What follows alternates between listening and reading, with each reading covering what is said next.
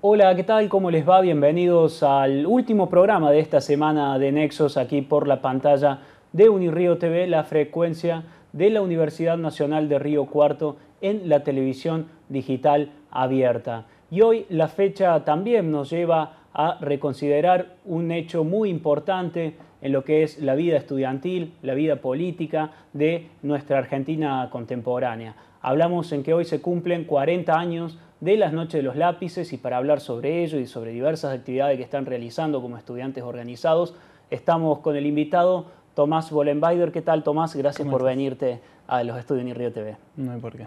Eh, Tomás integra la Unión de Estudiantes Secundarios, esta organización que ya estará pormenorizando él, eh, de estudiantes de aquí, de la ciudad de Río Cuarto, que van a realizar a partir de las 18 horas de hoy una actividad en la Plaza Roca por este tema, los 40 años de la Noche de los Lápices. Tomás, como Unión de Estudiantes, ¿qué significado tiene esta fecha? Bueno, como Unión de Estudiantes Secundarios reivindicamos, no sé, eh, principalmente utilizamos el mismo nombre que, que los chicos de la Noche de los Lápices. La única diferencia que marcamos es que nosotros somos apartidarios, en el sentido de que no defendemos ningún partido político, sino que más bien lo que defendemos nosotros es este apartidismo de que se puede seguir haciendo política sin formar parte de ningún partido político.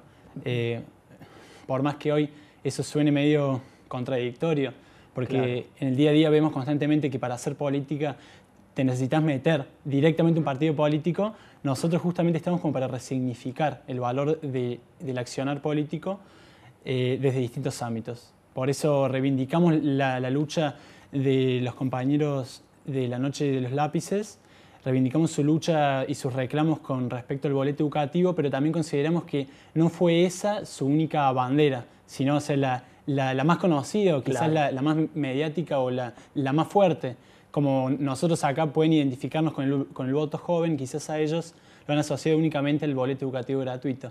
Pero a nosotros como UES no, nos gusta resignificarlos a ellos también en el sentido de que fueron jóvenes, incansables luchadores, que le dieron el valor a la política en el sentido de accionar político estudiantil, de que siendo estudiante no necesariamente vas a quedarte quieto, que siendo estudiante podés ejercer política desde, desde el ámbito estudiantil.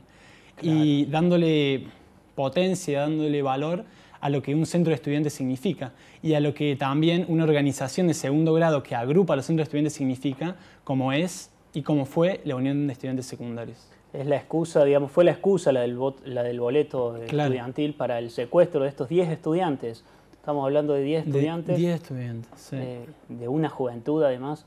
Eh, Tomás, ¿cómo llegás a la historia de, la Noche de los Lápices o cómo llegan también como, como unión de estudiantes secundarios? Nosotros venimos laburando así más entre nosotros en el diálogo de las asambleas, cuando nos reunimos, generalmente o sea, la, noche de los lápices es algo que nos interpela a nosotros. Somos estudiantes secundarios como fueron ellos también. Y somos chicos, por lo menos nos gusta considerarnos de esta forma. Gente que lucha por los otros, como ellos también hicieron en la noche de los lápices, en el 76. Y reivindicar su lucha es también reivindicar al presente, es eh, recordar el pasado para poder accionar desde el presente y poder vislumbrar así el, futuro de, lo que queremos, de lo que quisieron ellos también quizás. Eh, hacer o, rehacer. Y nosotros aquí estamos como reivindicando su lucha, intentando darle otro significado, adaptar lo que su lucha significó a, nuestra, a nuestro contexto también acá en Río Cuarto. Entonces, este valor histórico que le damos es muy importante en ese sentido, de reivindicar luchas, resignificar, readaptar, contextualizar también. Bien, y hablabas que eran varias las banderas de estos chicos, pero quizás la más notable, como decías, era la, del boleto estudiantil. Eh, ¿Se puede trazar esta bandera hoy en día aquí en la ciudad de Río Cuarto, en la provincia de Córdoba, considerando que hay una política a nivel provincial con sus defectos eh, que existe concretamente, como es el boleto educativo gratuito a nivel provincial? ¿Qué análisis hacen de eso? ¿Cómo surge el boleto educativo? Algo que caracterizó la lucha del boleto educativo en la Noche de los Lápices fue que fue un pedido, un reclamo como surge siempre en realidad, como surge siempre los reclamos reales, desde abajo para arriba, desde, desde lo, básico, desde el día a día, desde los estudiantes secundarios, un reclamo hacia el gobierno del momento.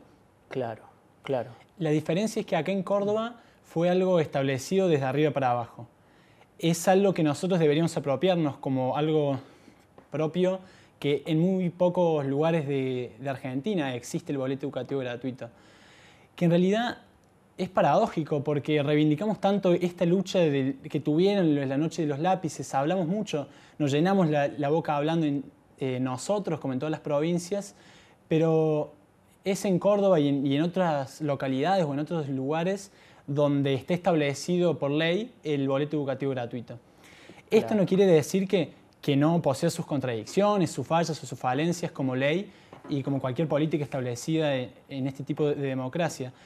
Pero eso no quita que lo que debemos hacer nosotros como estudiantes es apropiarnos de eso también, defenderlo y también poder hacer los análisis correspondientes para eh, poder mejorar también esta política.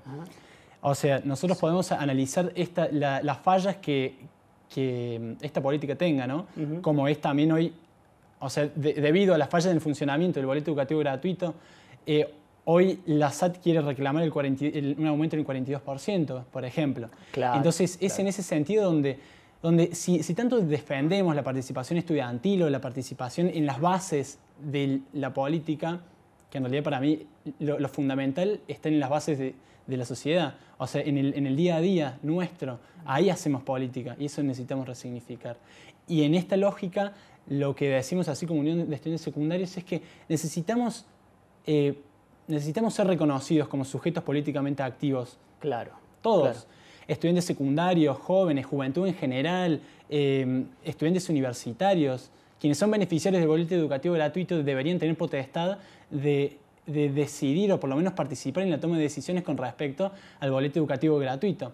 Por ejemplo, quienes se van a vivir a Córdoba solamente tienen unos pocos boletos para venirse a Río Cuarto, ponerle, para volver, para viajar. Esto de los estudiantes viajan gratis.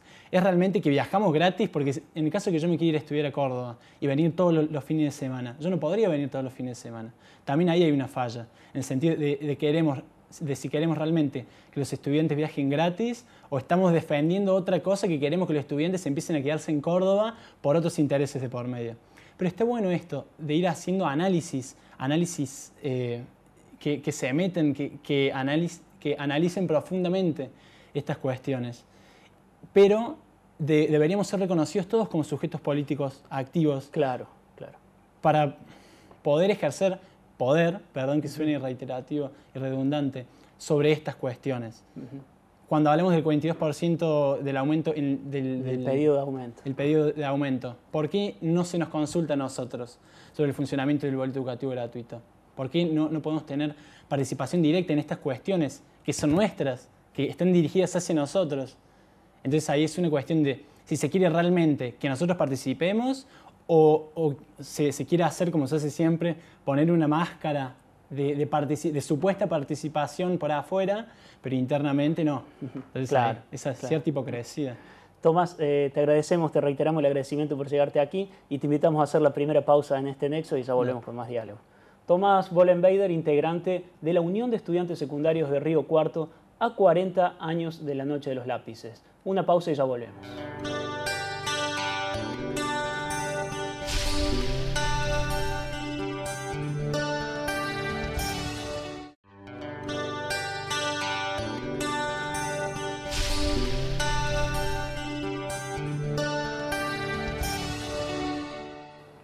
Iniciamos el segundo bloque de este Nexos en diálogos con Tomás Bollenbeider, integrante de la Unión de Estudiantes Secundarios a 40 años de la Noche de los Lápices.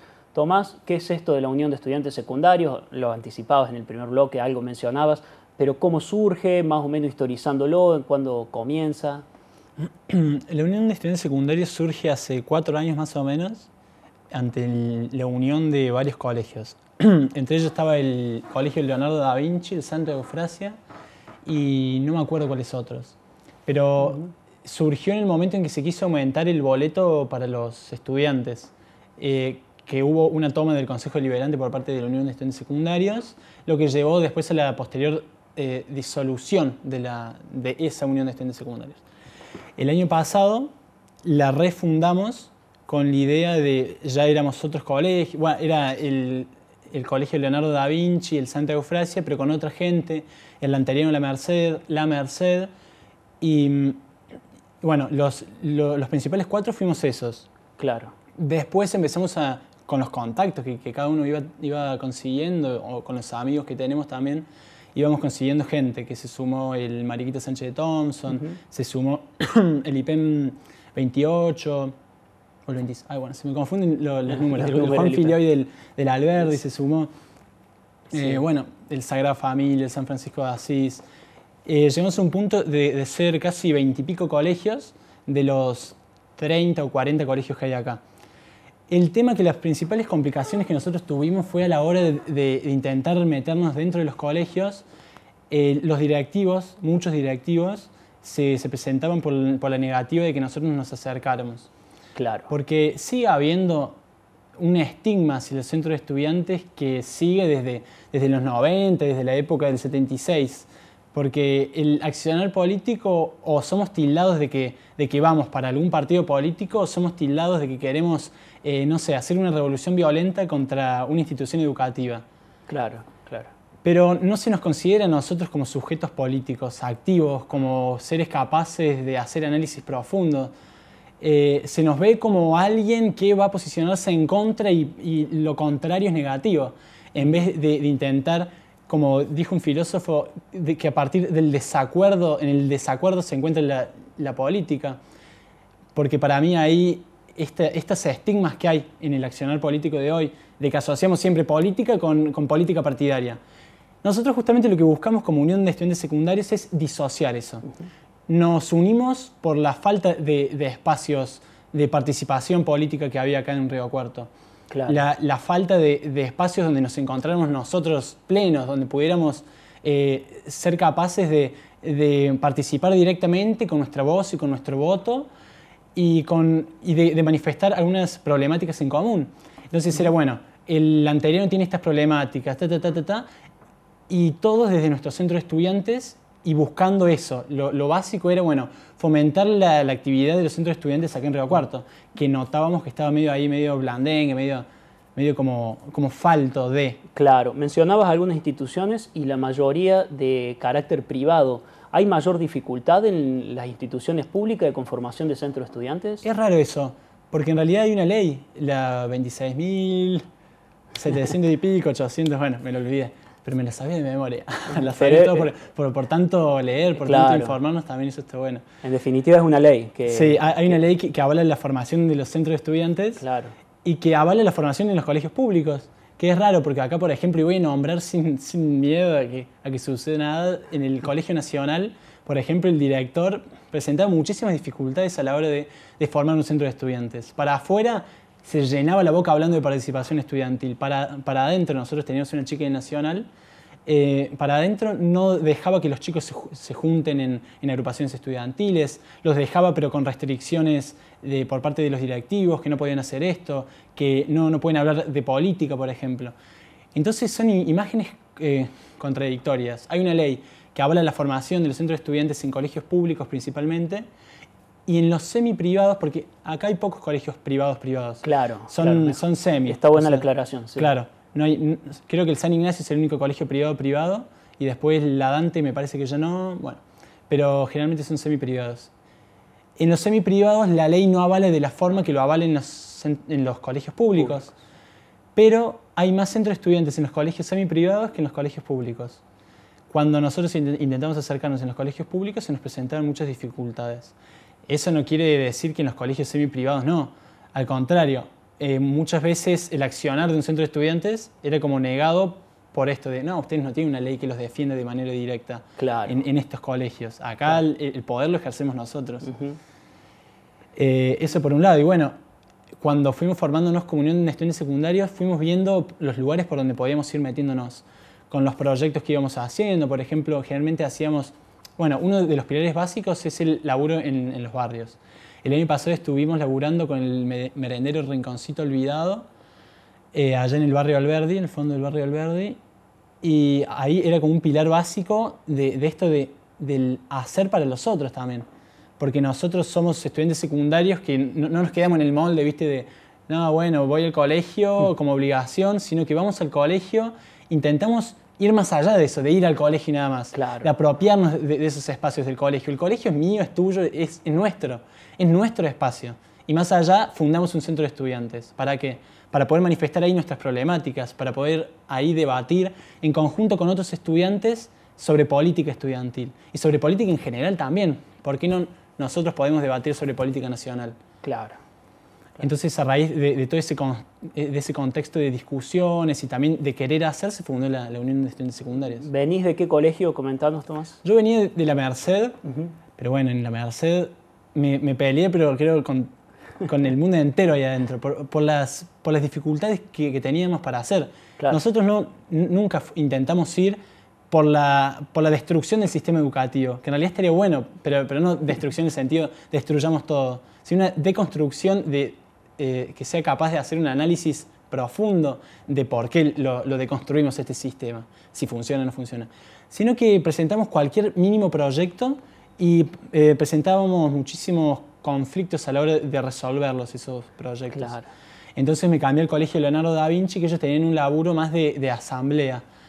Y bueno, el, el laburo era otro, había más conciencia por parte de los estudiantes y había más llegada con los profesores. Claro. En la Merced lo que siempre yo tuve fue un buen contacto con los profesores, siempre hubo una buena relación, una, pre- una predisposición de ellos a ayudarnos.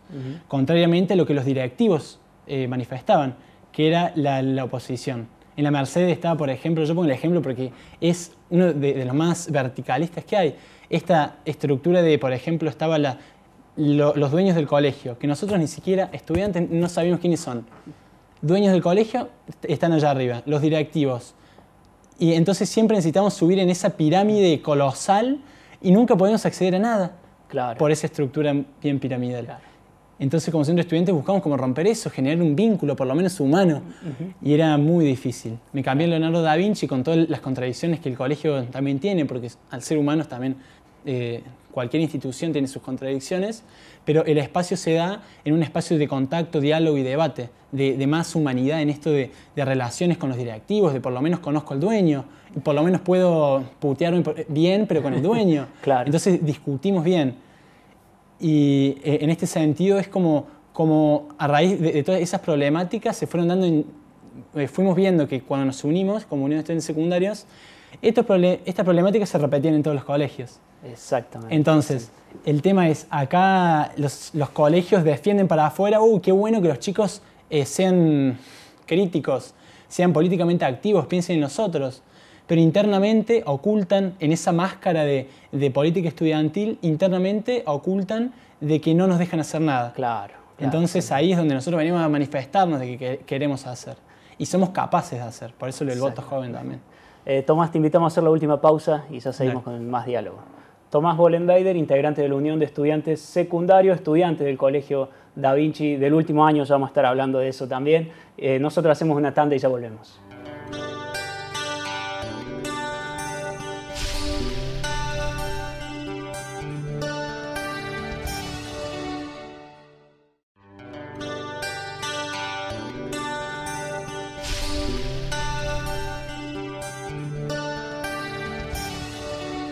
Tercer y último bloque de este Nexos de este viernes, en diálogo con Tomás Bollenbeider, integrante de la Unión de Estudiantes Secundarios de Río Cuarto. Tomás, decíamos, estudiante del Da Vinci.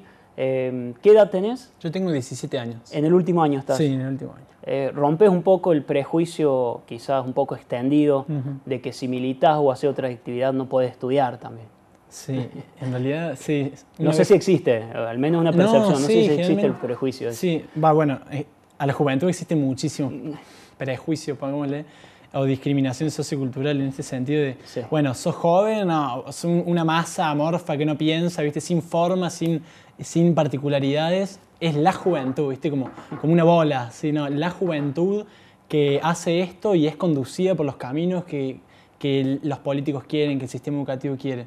Pero nosotros estamos como UES, como Unión de Estudiantes Secundarios y como Centro de Estudiantes, para, para resquebrajar esa, ese prejuicio, esa idea, ese imaginario que, que se ha creado en, en la sociedad en general.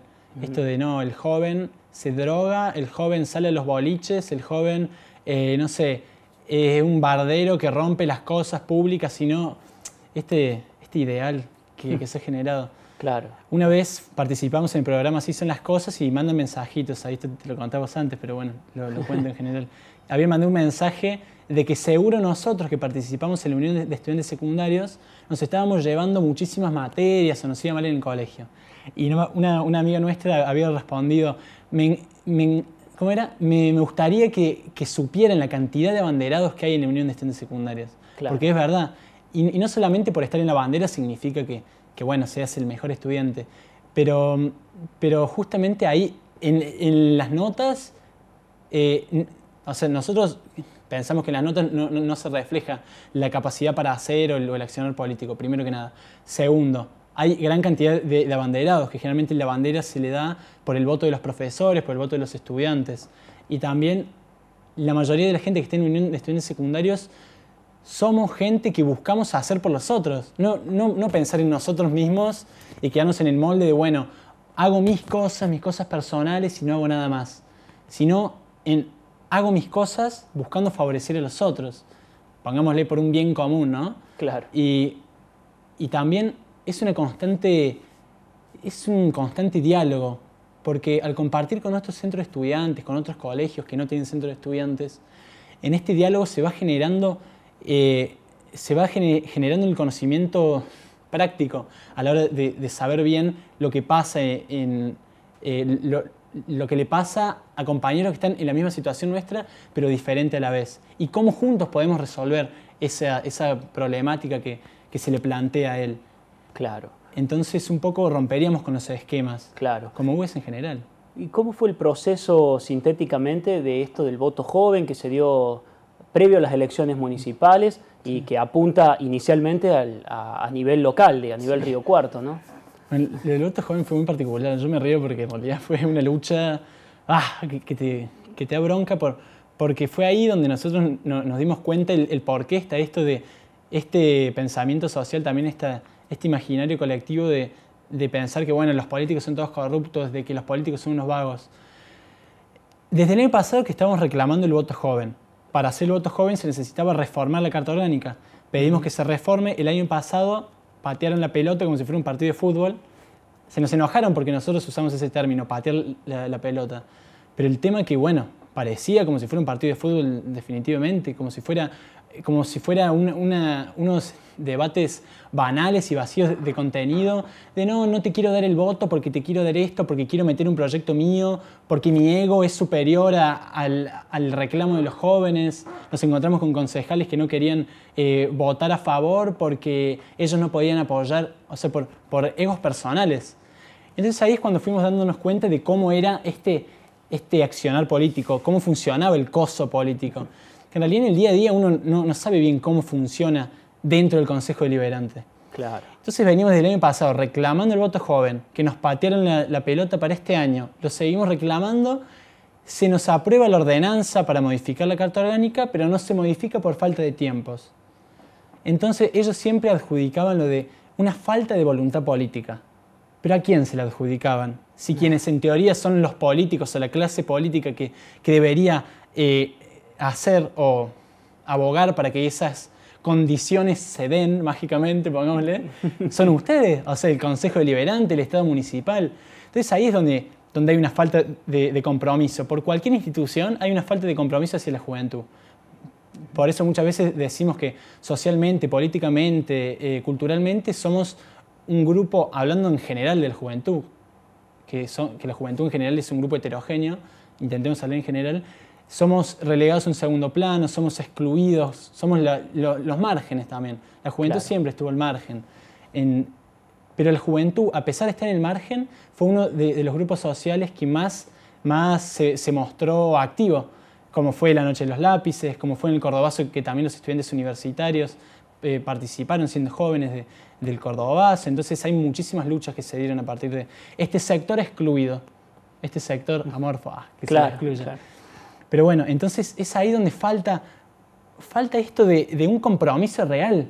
El Estado municipal hoy, y digo nombre, Juan Manuel Llamosa nos, ha dicho, el año pasado con el voto joven, nos dijo, ustedes jóvenes lo que tienen que hacer es ir a limpiar las plazas, A eso se tiene que encargar. Y después, el año pasado, ay, perdón, estoy perdido, a principio de año. principio de este año. A principio de este año dijo, no, yo siempre apoyé el voto joven. Entonces ahí es cuando vas dándote cuenta de las contradicciones que cada uno de los, de los sujetos que están ahí en ese claustro cerrado eh, cargan. ¿no? Tomás, eh, por último, para ir cerrando la entrevista, te consulto acerca de las actividades que dentro de minutos, a las 18 horas, en la Plaza Central estarán desarrollando. ¿En qué constarán básicamente? Bueno, la idea es como volver con lo que hicimos el año pasado. El año pasado se hizo una marcha.